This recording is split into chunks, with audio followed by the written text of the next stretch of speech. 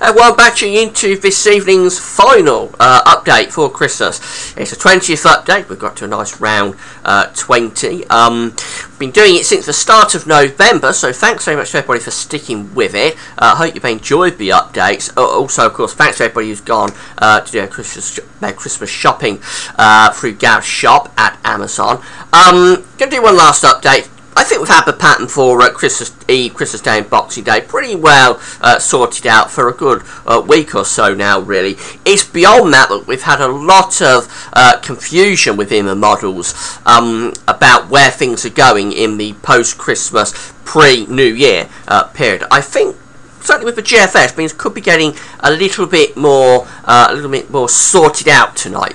Um, so yeah, I'll show you the charts in a moment probably not all that great if you was hoping uh, for a prolonged cold spell. But it's an odds what it was showing me this morning, so uh, who knows what's going to happen. Uh, really, it, we seem to have agreement between the GFS operational and parallel now uh, for post-Christmas, but uh, maybe there'll be one final twist, who knows. I'll show you the charts in a moment, just say about the ads. There's links to articles uh, sitting on most of the page at gavsweathervids.com. Have a browse through those widgets.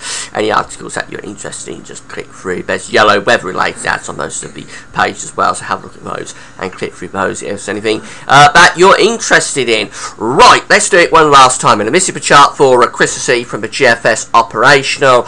Um, as you know, very mild uh, today, going to be very mild again tomorrow away from Scotland. I mean, Christmas Eve, we bring this cold front through the country, weak feature, and it turns cooler and fresher behind that. So with the upper air temperatures, they're cooling off through the course of Christmas Eve. Not cold, but cooler than uh, Monday, Tuesday.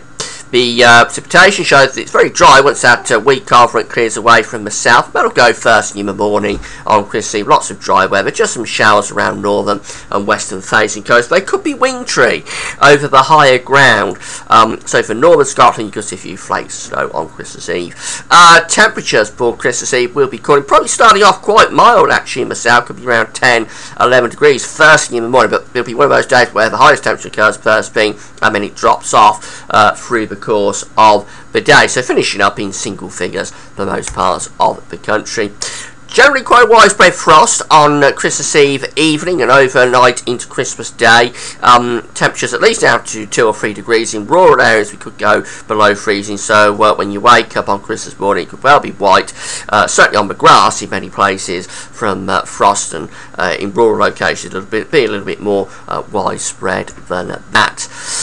Christmas Day itself looks like a mainly dry day under this ridge of high pressure. We've had that pretty much nailed down for uh, about a week to 10 days now.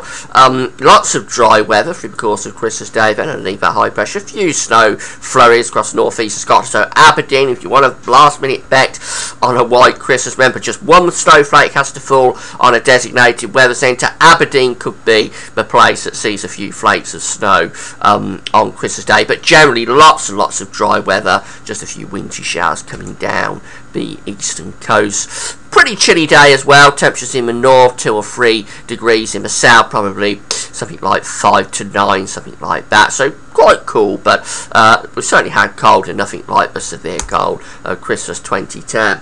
Now, as we move through into uh, Boxing Day, we start to get a change uh, for Boxing Day. The high pressure will begin to slip away to the south, allowing this area of low pressure to uh, begin to come through. We start off Boxing Day on a frosty note. Be a hard frost on Boxing Day morning, so overnight, Christmas night into Boxing Day, temperature could be down to minus 3, minus 4 degrees quite widely. That'll lead us into a nice fine start on Boxing Day, but then that high pressure is declining away to the south, allowing low pressure to come in. So after a fine frosty start, we'll find wet and windy weather spreading into Scotland, Northern Ireland, Northern England. Some of that rain will be quite heavy, but down in the south and the southeast, it should stay mainly dry through the whole of Boxing Day down there. Quite a cold day uh, with temperatures 3, 4, or 5 degrees and certainly feeling quite cold in that wet and windy weather. We move through into Saturday and this is when all the complications have been coming through. We get this area of low pressure running to the north of Scotland, pulling the winds down into the north for a time, but I don't think uh, that's going to last too long, certainly not on uh, the evidence of tonight. But we do get a brief northerly blast uh, going through the end of Saturday into Sunday. So midnight Sunday, we're bringing those northerlies down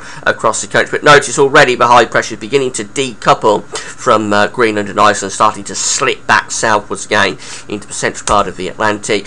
And very quickly that starts to cut off that northerly supply uh, through the course of Sunday the 28th. Nevertheless, that is a cold snap of around 24 to 36 hours from uh, midday uh, uh, Saturday in towards the end of Sunday. It will be quite cold. There could be snow showers in the north and the east in particular. But uh, the idea that this could extend out into a colder spell has gone on tonight's GFS midday run because go through to Monday the 29th. That high pressure is slipping back into France, allowing the mild west to southwesterlies to uh, topple over the top of the high pressure bring high, bring, bring mild air back in from the Atlantic. So it's Tuesday the 30th and then on into New Year's Day. It's quite mild, pushing those westerlies through. It could be rain at times, particularly in the northwest, mostly dry down in the south southeast, but certainly it's a milder flow. Now the GFS parallel run is in agreement really with its operational for the first time in a long time uh, tonight. We've got the parallel run running alongside the main GFS, and the parallel will become the main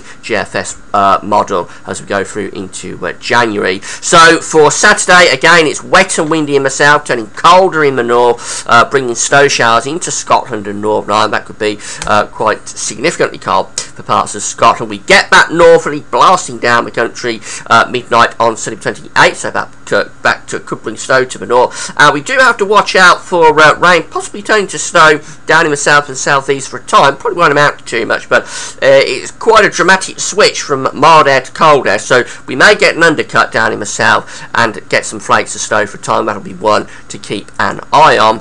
And the parallel does keep that northerly going into Sunday the 28th as well. Remember, by this time the operational GFS was cutting off in northerly, but the parallel keeps it going, so that could bring snow showers, particularly to the north and the east, but any places could get snow showers uh, on Sunday the 28th um, with that northerly. So that's a little bit better in terms of the duration of the northerly anyway compared to the GFS operational. Nevertheless, by the time you get through to Monday the 29th, high pressure is coming back in over top of the country, cutting off that northerly supply. But that's within cold air though, so it will be very frosty, particularly night and morning. Daytime temperature is probably no more than 2 or 3 degrees, so that is cold uh, still into Monday the 29th. Um, but moving through to Tuesday the 30th, the high pressure is beginning to decline. Probably still cold in the south, but turning milder in the north. Maybe transitional snow for Scotland. By the time we get through to New Year's Day, we're bringing that mild air in as the high pressure is receding into Europe. So seemingly, we've got some agreement from the GFS tonight with within its operational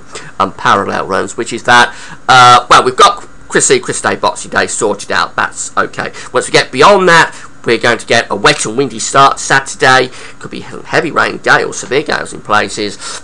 It will, I think, shift to a northerly uh, for a time later Saturday into Sunday. Then we cut off the northerly, and next week probably the idea is that we'll turn it milder through the course of the week. Starting off pretty cold probably next week, and then gradually warming up towards the new year. But that is still subject to change. It's different from what we were seeing from the GFS operation of parallel runs this morning. So uh, there has to be low confidence about that scenario, certainly from around Saturday, Sunday uh, onwards. So uh, let's wait and see how it pans out. But uh, that's it. That's the final uh, Christmas update. Uh, I'll still be updating website tomorrow and on Christmas Eve as well. But uh, whatever you're doing over Christmas, have a great time. Hope you enjoy it. and I say thanks for sticking with all the updates since the start of November. That's all for now. Thanks for watching.